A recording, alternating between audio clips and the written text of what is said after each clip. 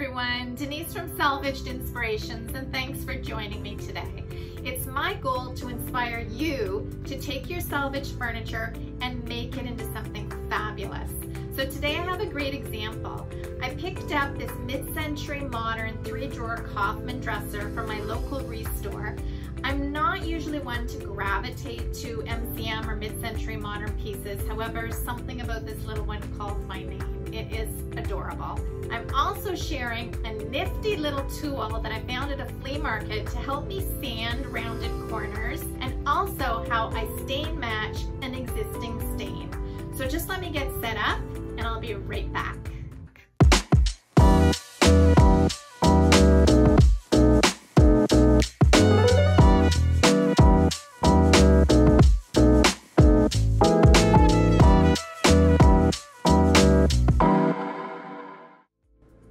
I found this three-door Kaufman mid-century dresser at my local restore and it was selling for $80. Uh, the top and body weren't in the best of condition, but the drawers were near perfect. I started prepping this piece by giving it a really, really good cleaning. Um, and I know I've mentioned this before on my blog, but when I clean my furniture, I always think if it's not clean enough to put my underwear in, it's not clean enough. and I know that's kind of a weird analogy, but um, I think a lot of people kind of forget how important it is to clean these pieces top, bottom, inside. Me being no different. I actually remember when I started selling my furniture, I was so focused on the exterior paint finish that there were a good few occasions that I forgot to clean the bottom of the piece. And I do remember there were a few times when we were loading a piece into the purchaser's vehicle and I saw the cobwebs on the bottom. And I have to admit, I was a little embarrassed. I, I felt a little unprofessional. So, a really good cleaning is mandatory. And in this case, I used Dixie Belle's White Lightning, which is a TSP substitute. But even if you don't have access to TSP or White Lightning, you could use a little bit of Dawn dish liquid with warm water or even water and vinegar will do a nice job. After everything was really clean and all dry, I moved on to the drawer touch-ups. And as I mentioned, these drawers were in really good shape, except for tiny little imperfections in the stain. And to fix this, I used this Trade Secret touch-up marker to hide the imperfections, and it worked amazing. I have a few of these Trade Secret markers in my inventory. They come in different colors, light, medium, dark, and they match different wood stains, but it's been so long since I've used them, I forgot how great they work. Um, I would not suggest using this for large imperfections because it might be quite noticeable, but for tiny little scratches or, or little dings, it's actually perfect and it's so easy. Literally colored in the stain imperfections with this marker. Once the front of the drawers were all fixed up, I had to move on to fixing the drawer slides on the interior. Two of them were, well, they weren't in very good shape, so they needed replacing. Um, I found these two drawer slides that I actually had from a curb shop piece. Uh, I just I keep these pieces because you never know when they're going to come in handy. And they did fit just perfectly, so I went and used them. I just had to cut out the notch. So I started by removing the old drawer slides, the two that were in pretty bad shape. And then I measured out the notch on my new drawer slide. And I did this by just placing them together. And then I also used my ruler to measure how deep the cut was actually gonna go. And this is so the drawer slide can sit on that uh, wood piece inside the drawer. To make the cuts, I used my oscillating tool, which is awesome. I've used it for sanding, for cutting, etc. even though this is not going to look good.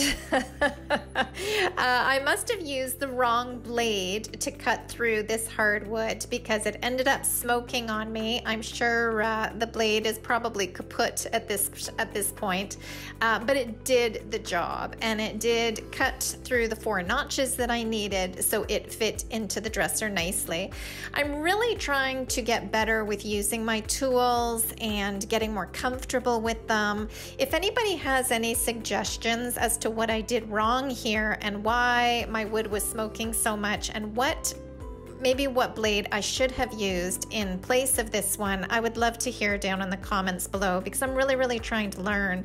Um, in fact, I decided to take the skirt off this piece to do the sanding as well, the sanding and staining, because uh, my new goal is to really try and get uh, the tools out working for me a little bit more and learn the assembly and uh, repairs on furniture as well. So, if any of you have any tips for me, I'm all ears. I would love to learn. I'd really like to learn more about assembling uh, furniture and, as I mentioned, getting more comfortable with my tools. So, what I did is, I guess I thought inch by inch, right? I guess a good way to learn is starting to take furniture apart and see how it's all put together. So, I actually dismantled the bottom skirt and legs of this piece uh, and and also not just to learn, but also because it's so much easier to sand and stain. Because I did know that I wanted to match the stain of the drawers to the bottom of the skirt and the legs. The skirt and legs were very easy to remove. I actually just flipped the piece over and unscrewed. I think there was about eight screws holding it in, uh, along with a little clamp. So that was easy enough to take off. I know I also mentioned in one of my other videos about these little uh, bumper feet for furniture or feet bumpers, or I'm not even sure exactly what they're called, but one of my pet peeves is having them painted. so I did remove the four uh, before I painted it as well.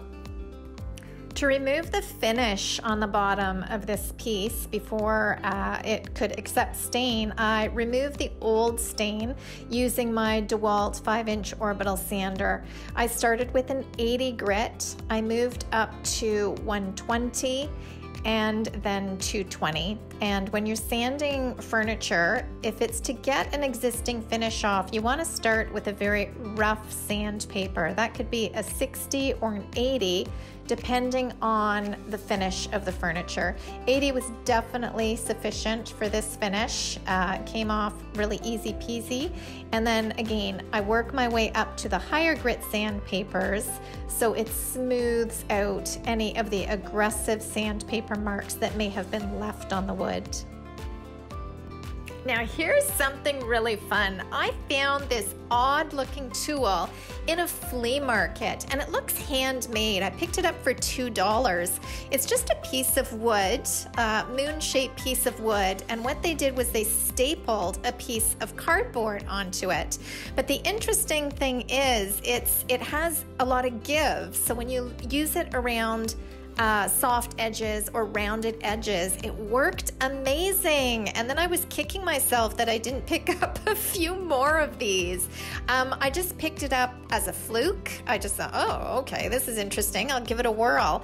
But I was really impressed with how well it worked. And for $2, like I said, I wish I had picked up a few more. I guess they'd be easy enough to make though. If you just did like a wood handle and put a strip of uh, sandpaper and stapled it on, I guess it would be uh, something very easy to hand make. Once I had the bottom finish all sanded off and nice and smooth, I pulled out a few colors of stains to match the bottom skirt and legs to the existing stain on the drawers. Now, I'm not that experienced matching stains, so it's really trial and error for me. Uh, luckily, I have a variety of stains on hand to play with. Uh, I think it would be a lot more frustrating if I had to go buy a few colors from Home Depot, not knowing if they would work or not. Uh, but I will say, for let's say the $10 for a small can of stain, even if you bought two or three stains for 20 or $30 for the, a perfect match, it's still well worth the time and effort and still way less expensive than investing in, say, a new quality piece of furniture. Uh, so I ended up using American Oak by General Finishes and I put, I believe, two coats of uh, American oak on for the base, which had like a reddish tone to it. And for the top, I used Minwax chestnut, and that equaled a perfect match, or pretty darn close, I would say. I'd love to hear what you guys think as well. Um, to match the stain, like I said, I looked at the prominent base color which had quite a bit of red in it, and I took it from there. I always test on the back of a piece, or I say a back of a leg. You want to test in an inconspicuous area to do your test matching uh, because, well, for me, if I blotch up, it's easy to sand down the leg and say, give it another try. Uh, another tip is always wait until the stain is dry. If you're mixing and matching stains, uh, they will look different when they're wet, of course, to when they dry. So you want your, your mixed stains to dry totally 100% and then hold it against the piece that you're trying to match it so you actually get a true color onto the body of this piece. Uh, I took out my trusty DeWalt Orbital sander with a 120 grit sandpaper and started sanding the entire body.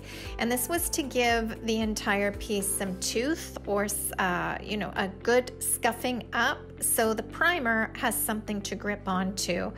Uh, for the drawer rails, uh, the front drawer rails, I in my original thought I wanted them stained the same color as the drawers, but more on this later. it didn't it didn't turn out that way, and I'm very very pleased it didn't. Um, so what I did again was I just gave this full piece a scuff sanding. Uh, the top, uh, somebody on my blog mentioned that it looks like melamine uh, up top there, and I can, or no, I'm sorry, she said formica. And I can see where she's going with that, but it's actually a wood top. I've worked with a few of these MCM pieces and I don't know what kind of finish they put on top of this wood, but it does look very slick and shiny. Um, I don't know, some sort of varnish or shellac. And, and uh, I can see where she was going with that when she said it looked like Formica. So the top really needed a really, really good scuff sanding as well. So the primer would stick. And Bin, Bin, B-I-N, I call it Bin. It's B-I-N shellac based primer. Um, if you've watched any of my past videos, you know that's my go-to when it comes to projects that will most likely have bleed through, but it has excellent adhesion. So I, I wasn't worried about it. Once this was sanded and primed with the BIN shellac base primer, I knew that the paint was going to stick just fine. For the priming, I add the BIN shellac based primer to a paper plate. I also use a dollar store foam roller, and this is so everything is easily uh, dis disregarded after I'm finished with it. Um, BIN shellac based primer does have an odor to it, so make sure that you have very good ventilation if you're working with it. Um, and it goes on very easy and it dries super fast. Um, I can be putting a second coat of this shellac base primer on within a half hour and I can actually be painting within an hour. Um, I do sand in between each and every coat uh, just to knock down any um, little particles or, or dust or any unevenness in the primer uh, to give the smoothest, smoothest finish. After I finished priming the piece, I took the time to use some painter's tape and mask off the drawer rails. Waste of time. I should have just primed all at the beginning uh, because I ended up taking a different direction with this dresser. Now, finally, for some color. I ended up using Dixie Belle's Silk All-in-One Mineral Paint in the color Serenity. It's a gorgeous blue-green, yet it's a little muted, um, and it really, I thought it would play off nicely with the very warm wood of the drawers, and and it didn't steer me wrong. It's it's it's beautiful, beautiful, beautiful color. I'm really pleased with it. Um, I did thin it with 10% water before putting it into my Husky spray gun. Uh, this just makes it easier to spray. Silk all-in-one mineral paint is an all-in-one. It does have a primer. It also has a top coat. Um, that said, I had already added primer because I wasn't sure what color or what type of paint I was going to use at that time, so it has extra protection. And I ended up top coating it, uh, but more on that after. I sprayed two coats of Serenity and then I plopped the top of the piece onto the skirt just to see um, what I was working with. I, I, put the drawers back in. I wanted to make sure that the skirt uh, stain matched the drawers properly and I just wanted to take a look at what everything would look like. And the thing was is when I saw the green tape peeking through uh, the drawer rails and peeking through the drawers, I thought, no, I don't want them stained. I actually want them blue, the same color as the piece. So I ended up taking off the masking tape and then I had to backtrack and actually prime again with bin shellac primer so no bleed through would come through. And then I went ahead and I painted the dresser rails with Serenity. Um, and it all got two coats and then I was actually happy with how it was looking. The funny thing with furniture refinishing or furniture painting is it kind of takes a direction of its own. I can't tell you how many times uh, in my mind I see how a piece is going to look and I start in that direction, and then as I'm working with it, you know it can it can turn out totally different. It really can. But that's part of the fun. You just kind of go with the flow and you do the tweaks as you go along and work on the project. And in the end hopefully it turns out beautiful. Once the paint was dry and of course the stain on the bottom, it was time to top coat. And I used Dixie Belle's Satin Clear Coat. I did water it down ever so slightly. I'm guessing maybe 5%. And how I like it is the consistency of, say, a thick milkshake. So if it runs off my mixer and it looks like, uh, like I said, the consistency of thick milkshake, I know I've got it right for my sprayer. Uh, I did also run it through a filter, and the reason being is because it is in a container that's been opened and closed. There's some dry pieces around the lip of the container. So I just want to make sure none of that actually gets into my top coat. So I ended up spraying two coats of uh, satin clear coat on the entire piece and on the bottom skirt and legs. For the finishing touch, I lined the drawers. Um, I had this heavy duty vinyl that I had found at a restore when my sister and I were, I don't even remember what city it was in, but often when, you know, we're out and about and we see a restore, oh my God, I, I turn the car around. I turned that car around and I gotta go check it out. So in this particular restore, I found these um, bolts of vinyl upholstery fabric. I believe it's actually used to cover, like, say, restaurant seats. It's not, it doesn't feel like a slippery material, but it's very easily cleaned. Like, you can tell that anything could get spilled on it, it'll just wipe right up. Um, so I found about seven, eight of these remnants uh, on on these bolts, and I just love them. And I finally found a great piece to use it on because the colors tied in beautifully. The pattern was perfect for the mid-century modern piece, and I couldn't be happier with the way it looks. Lining the drawer was very easy. I just measured the inside of the drawer and then I cut the upholstery fabric to fit exact.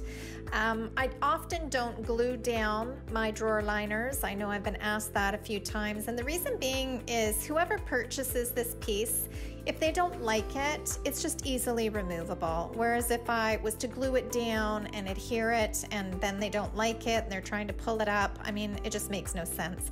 If the purchaser would like to adhere it themselves, they're more than happy to, or if they ask me to do that for them, I'm more than happy to do it. Uh, however, there have been a few pieces where I remember one in particular, it was. Um, a vanity and I had lined it with, I think it was leopard print or cheetah print or something. I thought it looked fabulous. but, and the man who came to pick it up thought it was great, but he said he has to remove it before his wife sees that because she's going to hate it. no worries. So when you're lining your drawers, it's up to you whether you like to adhere it or not. But if the piece is for sale, sometimes that can be a decision a decision kind of maker whether they're going to purchase or not if they cannot remove those liners. So here's how it all came together. Once again, here's the before and here's the after. I'm so glad that I actually decided to paint those dresser rails in the Serenity so it peeks through behind the wood. I think the little peekaboo detail on this dresser is adorable and I couldn't be more thrilled with how it turned out. I hope you found this tutorial helpful and you enjoyed the before and after. If you found any value in the video, please give it a like. If you have any suggestions or comments, I would love to hear from you down in the comments. I so appreciate all your comments and all your support. Um, I'm really trying to grow my YouTube channel and I can't tell you how fabulous it makes me feel when I get some interaction. And if you have any suggestions on what you would like to see, some questions that you may have about furniture painting or furniture makeovers, leave them down below also and I'll do my best to answer them and maybe it might even give me an idea for more videos. So I would really appreciate it. Uh, you can also find me on Pinterest, Instagram, Facebook, TikTok, trying to think of them all. Uh, and of course, as always, salvagedinspirations.com where I have over 400 furniture painting tutorials teaching you how to make your furniture beautiful. Until next time, stay safe, have a fabulous day, and I'll see you again. Bye guys.